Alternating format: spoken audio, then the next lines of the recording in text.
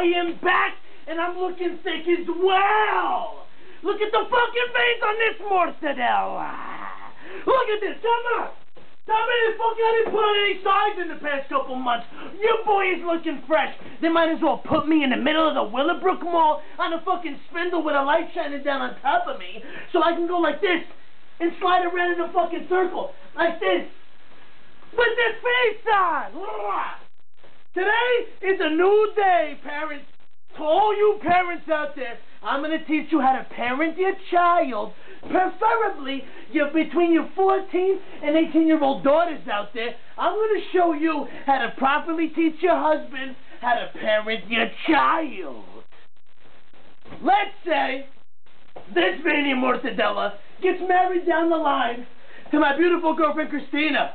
AKA Al Nitty is now wiped up and handcuffed to a fucking pole, can't go nowhere. AKA Al Nitty's a very, very, very lucky man. AKA, look at that beautiful goddess walking up the stairs to serve out breakfast in bed. Oh yeah! AKA, Duke is the fucking boy. Let's say me and her are married. And I plant a couple seeds. But knowing all the testosterone that's flowing through his fucking body, what's gonna happen? She's gonna be Octomom number two. Maybe even fucking double that. We'll see. Let's I'm with her. Alright? And we have a couple kids. We're sitting there, we're married. I work full days. She's at home cooking me dinner every fucking night and taking care of the kids. Changing diapers. Oh, look at the fucking fish shit. it's a little wet. The fish shit a little wet. Let's say she's over there, right? She's in the kitchen. What's she doing in the kitchen? Baking me brownies while I'm at home work every fucking day. Maybe a chicken casserole. She's over there like this. She's fucking cooking. Tossing the frying pans in the fucking air like this and kissing me the head like this. Maybe there's a little salsa merengue bachata in the background. And she's fucking dancing around like a fucking, she knows whose business, huh? Let's say she's over there. And what happens?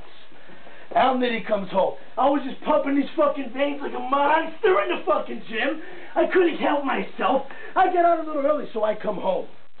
My daughter Anita Cum is sitting in the fucking room with Giuseppe Sarachelli's son, alright? Let's say she's over there and they're upstairs watching Backdoor Betty, alright?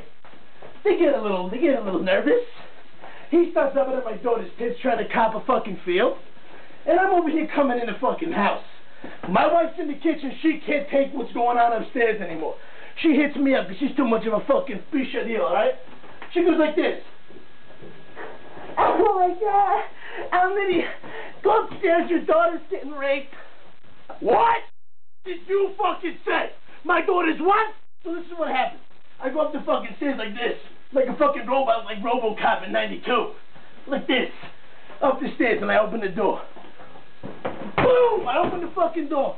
The kid looks like he's gonna shit his fucking pants, like turds coming out like fresh pumped tomatoes.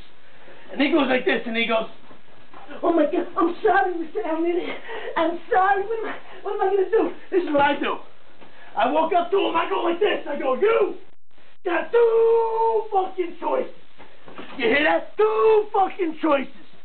You either go through me and hit Randy Mortadella, or you go out the fucking window like Ron Brown. You pick one. Two choices. Either A, he goes through this, or B, he goes out there. Maybe I'll throw a cucumber the back of his throat on the way down. He chooses me, so what do I do? I do this. I go, you know what? You're a good kid. You're a good kid. Oh, my fucking, fucking I pounce on him.